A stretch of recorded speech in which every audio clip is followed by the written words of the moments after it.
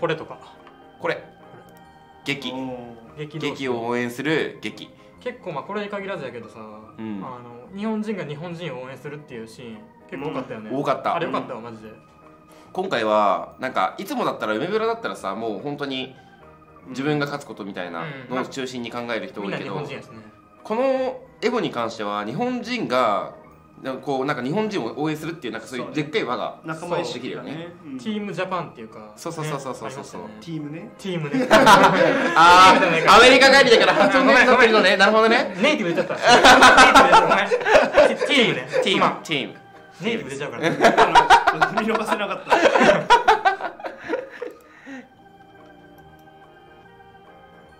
ああガッツポーズしてる。リーマン。リーマンに勝った時だこれこれ日本勢応援ちゃんといたんですよ。チームジャパン。チームチームジャパン。がいたんですよ。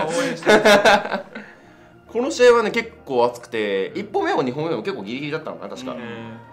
その新規 SP から見に見見始めた人はあんまり知らないかもしれないけど、ね前前回の覇者だからね。エボ覇者ああリーマンね、うん。そそうそうそう。が真央さんに負けるっていう。そうそうう。なんかね 言い方がさ 本当に最悪や違う違う違う。今今のは悪意あったよ。違う違う違う。本当にあった。じゃあね向こうからしたら全然知らんやんか真央さまあまあんのことまあ確かに。で急に真央さんが来て負けるっていうのがうん。ねドラマもあってよかったよね。って話し違うねんって。待ってくれ。真央さんごめんなさい。すいません。今のは怒ってるよ真央さん。違う。本当に違うんですこれは良かったまあでもこれ本当にいいシーンでしたね。ガッツポーズもそうそうそう。力強く。真央さんちゃんとガッツポーズするのがいいんだよな試合後に。日本の大会でもどこでもちゃんとねガッツポーズするんだけど。普通に声出さん。よっしゃ。そう、うん。あよっしゃキャンで有名な人。です、よっしゃキャンで有名な人。そう。試合終わってないのによっしゃって言ってあやべっつってなんで元に戻るみたいなね、有名な方ですよあこれは触れなきゃいけないんじゃないですか。あざっす。これは触れなきゃいけないんじゃないですか。ダリオさんに感謝だよね。そう。すごいいい写真。俺この写真ほんと好きなんだけどこのフェイタリティが。フェイタリティのこれも好きなんだよなこれ。マジか。こう下包みのフェイタリティがねすごくいい味出してるんですよこれ。いいよねそう構図が素晴らしい。びっくりしてる人が多くて。で真ん中のケプト喜んでるケプトにうなずいてるっていうかなんか納得してるラリー。納得してるね。うんさらに下包みのフェイタリティと観客。もう完璧な構図これ。これはいい。これ結構試合内容圧倒してた。いやいやいやあのね1-1で最後3戦目迎えて、うん。かなりリードされての逆転。そうなん最後11までいったんや最後もうこっち140ぐらいはいはいはい。パーセントで、あっち780で下スマ横スマで。ひたすらよくそうそう。埋めてボーリングが当たって逆転。下妻ことウルフのやつじゃないですよ。分かった分かっそうそうそうたフリーしたもんねウルフで俺の人そう、ね。そう事前にねうん。やらせてくれっつって。海外大会ねトトナメが事前に出るからそう。対策しやすいっていう意味でそもいいよね。うそうそう、うん。それもいいんですよね。この試合もじゃないですか？この試合何？ミスター R 対 T さん。あーこれは試合前かな。T さんはなんでこ何の顔してるの？これ試合前じゃないとこういう表情したよね多分。集中してほしい。いやなんかこんなおちゃらけた表情だとは思わなくて俺。これ何これ？ミスターハルすごい集中してる 何してるんでしょうこれななんだ俺何これ？ちょけてるね。これ試合後なんかなこれ？れ。わかんない。カッターンってやっていやこれしかも負けてるんですよ。負けた？そう。負けてこれ。負けてる。負けてこれ表情なんかな。わかんないけど。わかんない。ちょっと試合前はどう思うんだ左上の人がほらそんな顔すんなよって怒ってる。このこの人は怒ってるね。なんだその顔。これ面白いな。写真で見れるストーリーがあるんでこれあこれは伝説の。将軍コスモスね。なんかこれ勝った後だよね多そ分う俺ひっそりと見てるんで。そうだった。ほら超接戦やったらしいね。コスモスの。めちゃくちゃ接戦、うん。これ喜んでんのかな？でも俺正直あ翔さん負けたなって思いながら見てたの。はいはいはいはい。ってぐらい大差で負けてたんだよあ本当だなんいるだけどそうそうそう大逆転、ううん、翔さん飛び出すの珍しいねそうもうすごかったよ。これ写真だとあんま飛んでないけどあの見てた映像で見てると本当飛ぶ。飛ぶ。このひ膝パンぐらいは見たことあるけどポップオフ。こんな立ち上がってっていうのは見たことないかな。うん。それは熱かったな。珍しいね。珍しい一面も海外大会だと起こりうると。うん。そのザクエイムもいいよ。これはこの二英語人仲良の勝った後しよね勝ったんじゃないかな。ホッとしてるもんね。う、ん。すごい仲良しなんですよ勝って僕よくやったよくやっていう。いつも一緒にいるからうね,、んこういうね。これはどんどんゼロにインタビュー受けるレアさんかな？そうだね。ゼロなんか会場回ってたよねゼロが回ってた。回ってた。みんなにインタビューしてた。ゼロいっぱいおったわ、ゼロはいっぱいいないです。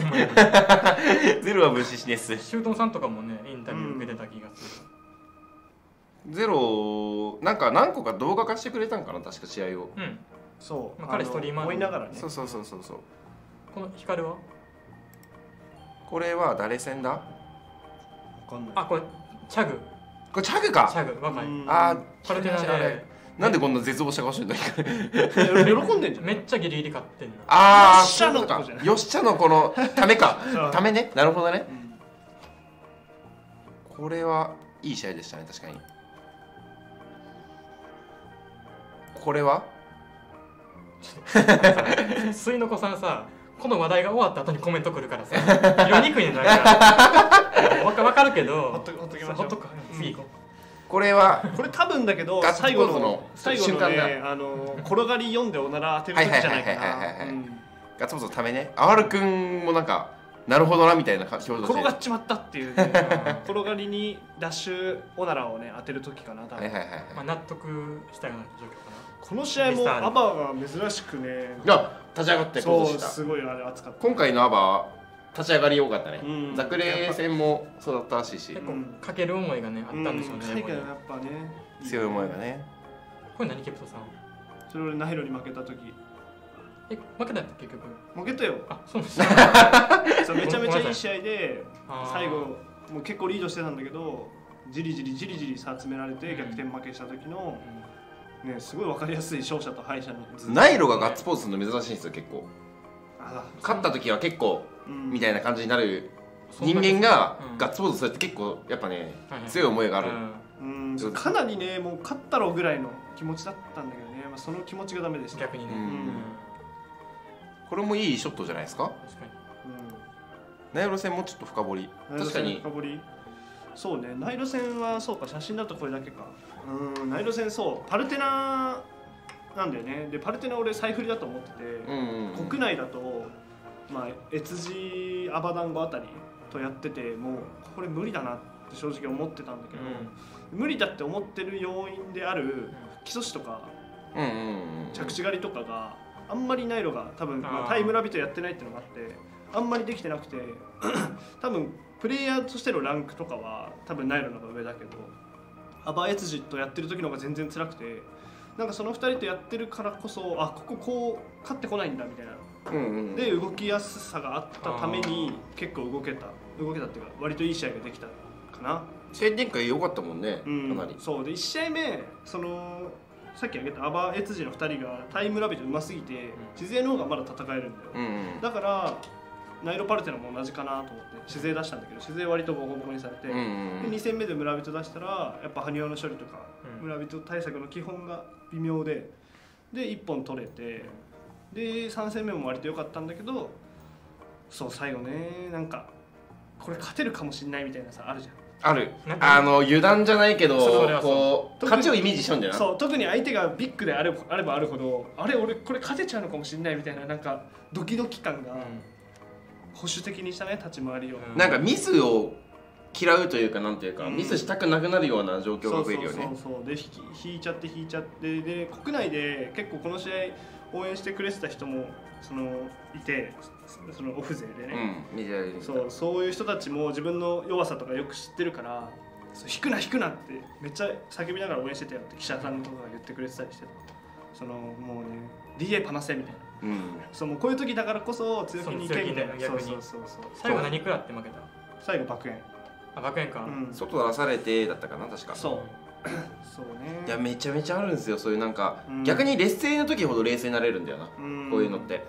でなんか優勢の時ほど追われてる展開が一回出ると逆に焦りがね。そう焦りが出ちゃってここで負けるのかみたいな。それは分かる。余計な考えが出ちゃうんですよな、まあ、タイパルテノに限らず結構海外勢村人がねあんまりうん。ね対策が本当にそう。できてないっていうのもあって。そう。そのおかげで割と勝てた試合多かったかな。あというわけで次が？これライトさん？これ俺だ。ライダー？俺俺これこれが結構いい。それ見よこれ日本勢がねこれたダバズ戦で勝った後。うんに応援してきてくれてたんだけど。エイト確定の時かな。そうそうそうそうそうティームジャパンですねこれこそ。チームジャパン。これティームジャパン。ですうんこれあのねいい写真なんだけどこれ実は勝った瞬間日本勢が出して走って応援してくれてて、うん。ケンタロウさんなんだけどこの日本の国旗持ってるのが、はいはいケンタロウさんが日本の国旗こうやって持ってやってるせいで風の影響を受けて日本の国旗が足について滑って転んでますよ。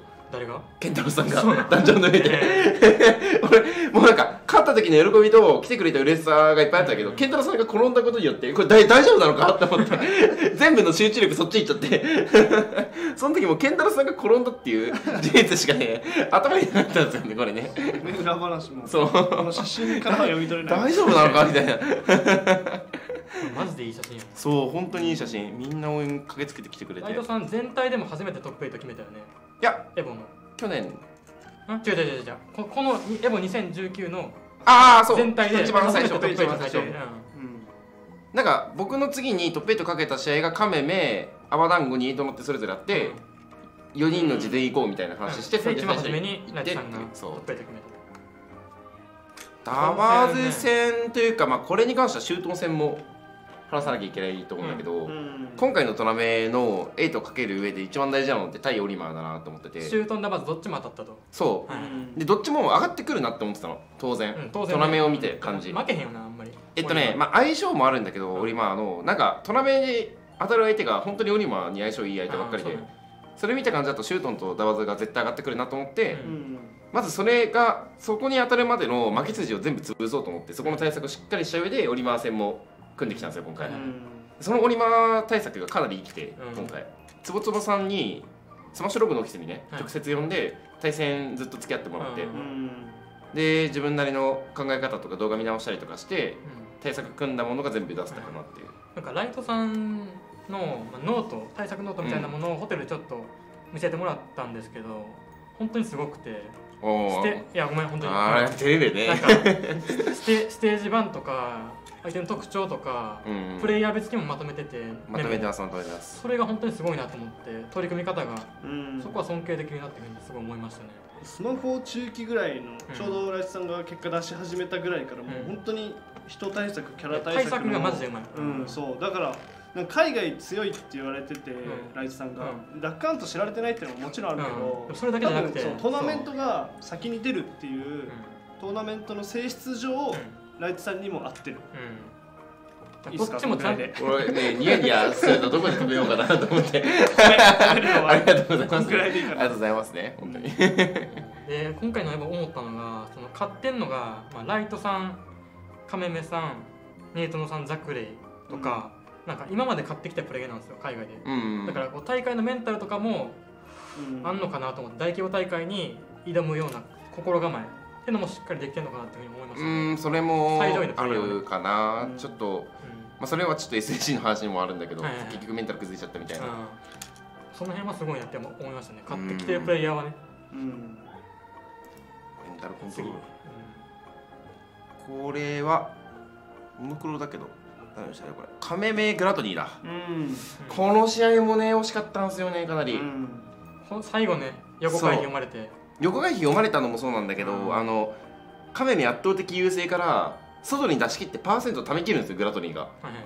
あそこで崖上で待たずにガンガン外に出てきて、おなら撃墜できるところにパーセント貯めたのが本当に見事で、一歩間違えてればワリオが撃墜されてる可能性が何度もあったうん。シーンでしっかりと攻め込むところのグラトリーの勝負強さが見て取れた試合だったんですよねあの試合は。グラトニーほんまに強いわ。いや本当に強い。した俺ほんまに。なんかあのね海外勢でよくこの人人間離れしてるみたいな話されるときに、まあ、MK レオとかうん。の他にツイークとか。サムソラうツイークはねちょっとまた別なんですよ。ん別なんや。そう。うん。ツイークっていうよりかはなんか理解がちょっと及できないような立ち回りをする人、うんうんまあ、例えばサムソラとかエレガントとか。うんうん天才みたいな。そうそうそうそうそう。でグラトリーも多分そのタイプなんですよ。そうね。うんだから理論が自分の中でしっかりやってうん。それを実践できる人。そうグラトニーにしか見えてない世界が多分あるから。多分ある。うそれをねもう最近は彼はどんどん見せつけてくるから。いうん。や本当に強いんですよグラトリー。んあそうカメメが X の頃からそう。憧れてたんやグラトニー。そうそうそう。ずっと結構めちゃくちゃ好きなはいはいはいはい。うん。はいそうそう。そうよねその二人がここで当たってうん。この写真と。素晴らしいよね。うん。千と水の子さんのコメント噛み合ったね噛み合ったタイムラグまでね考慮して。お願いしますアップデートしてるわけねうん。水の子さんも。これはちょっと拾わざるを得ませんね。うん。ニエトのこれは桜良かったね。いい写真だな。これこれ写真ある、あまりにもいい写真だな、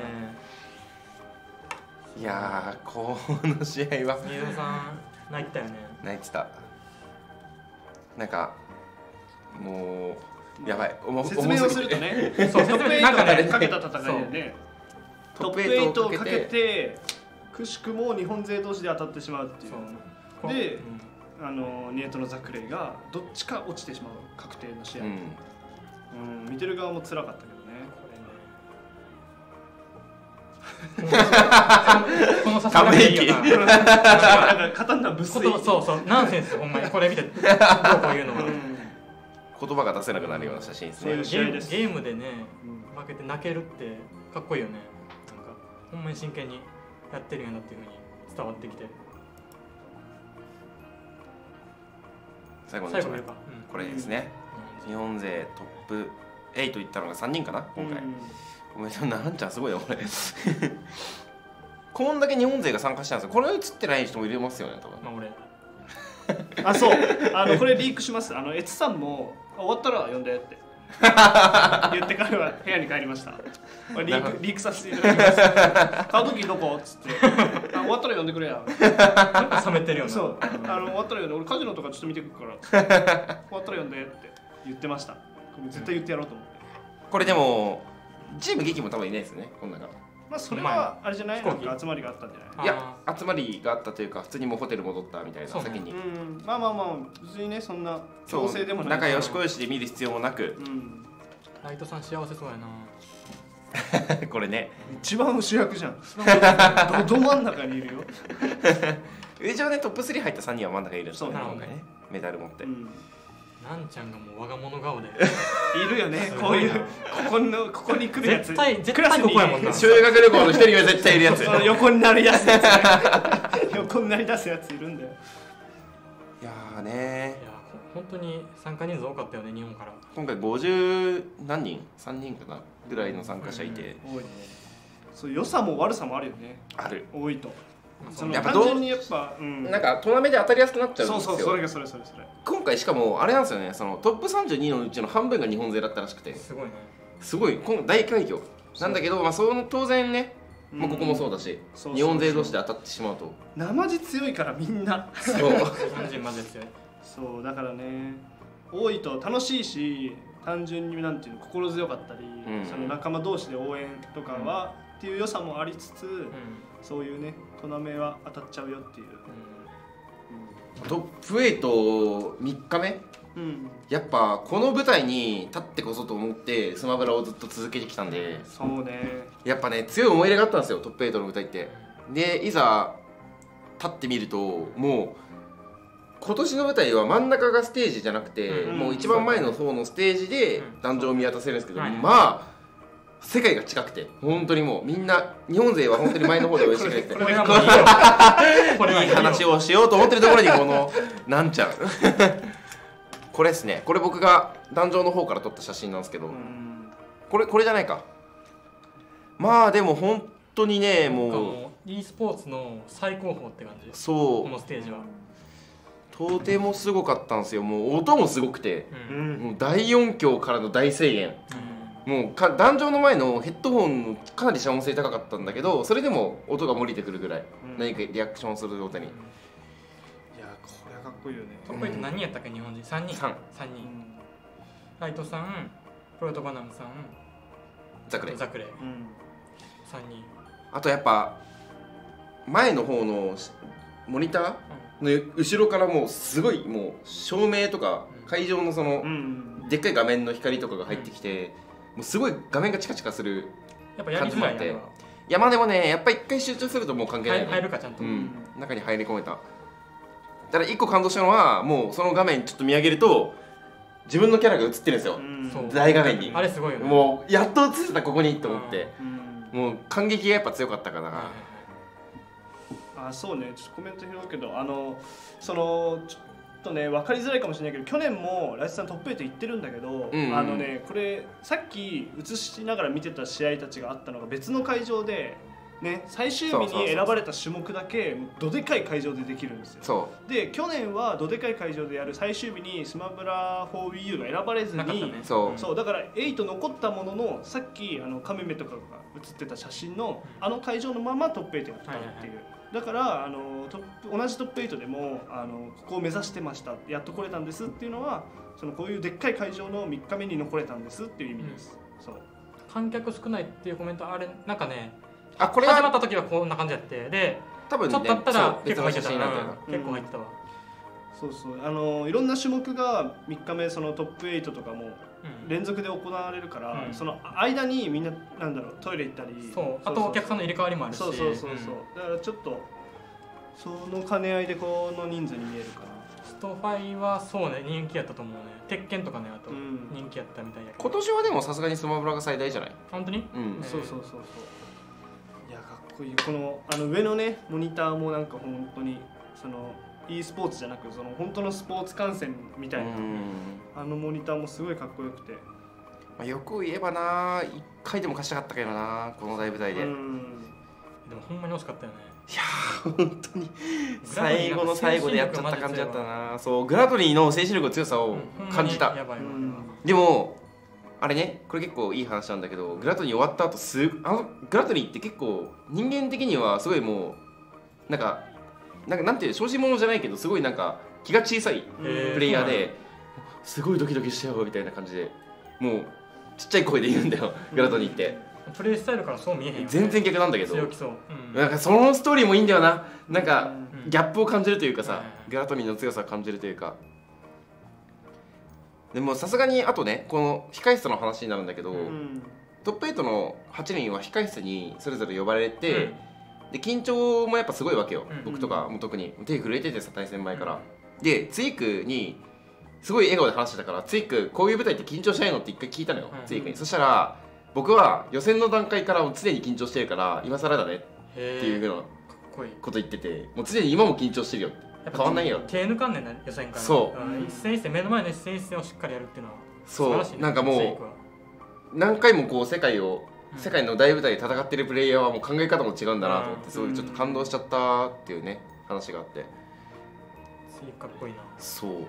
確かにね緊張してるように見えづらいプレイヤー見えづらい。うん。なんかひょうひょうとさうん。なんかあっけらかんとしてやってる冷酷な表情でねそうそうそう、うん勝ってるみたいな。でちょっとなんか夢ではあったんだよねこの舞台に出ることが、うん。ただ今回負けてしまったことでさらにちょっと目標上がったかなっていう。来年こそはと来年ここにこそは立って勝つ。勝ちたいね。うん。勝ちたい。今年はつかめなかったけど、ね立ちたいねこの舞台は